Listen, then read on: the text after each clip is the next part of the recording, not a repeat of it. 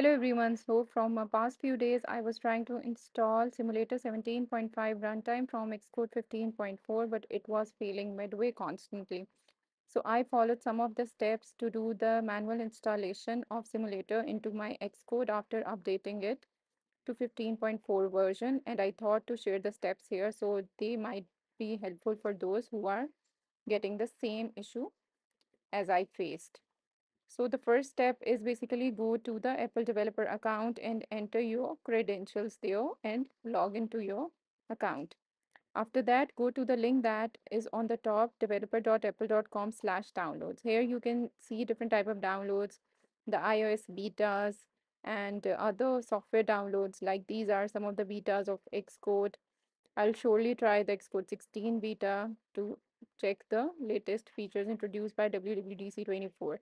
Then I'm going to move to the more tab and here you can search about the relevant tool that you want to install. So here you can see iOS 18 beta version is available. But be very clear when you are installing betas, they may contain a lot of bugs and they may also cause crashes.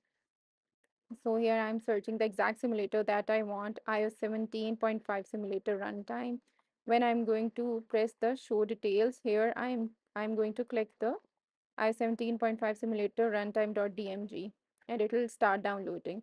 Since it is a huge download of around 8 GB, so it is going to take some time. Once it's downloaded, go to the terminal, run this command, xcrun simctl runtime add, and then the path to the downloaded runtime.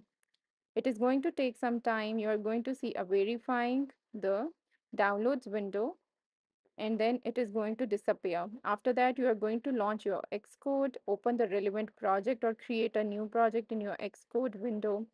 And here you are going to see that the error is removed and you will be able to see the new simulators with the updated version, which I'm seeing here as 17.4.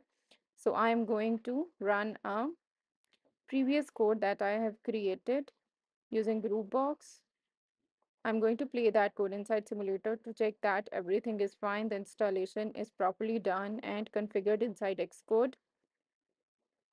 So it is going to take some time for the first build. So just wait a few moments and after that you are going to see that the output is going to appear on the simulator which means that we are done with the installation and in this way you can download any beta in your Xcode as well. I'm going to try out the Xcode 16 beta, which is going to help me to use the elaborative AI features that are published in WWDC 24. So stay tuned for further video tutorials and I hope this is going to be helpful for you. Do not forget to like and share this video, subscribe to my channel. Thanks for watching.